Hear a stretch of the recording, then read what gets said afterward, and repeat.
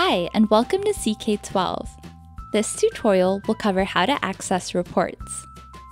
First, go to our homepage, www.ck12.org, and sign in. Click on Groups. Select the class to access reports for. Next, click on Reports. All assignments will be along the column and all students listed in the top row. To view more students, click the right arrow button. Click any assignment title to quickly view more detail. Click the score to view more about the individual student's attempt. Mouse over the dots on the chart to view detail on additional attempts by the student. Scroll down to see their responses. Toggle from incorrect, correct, or all.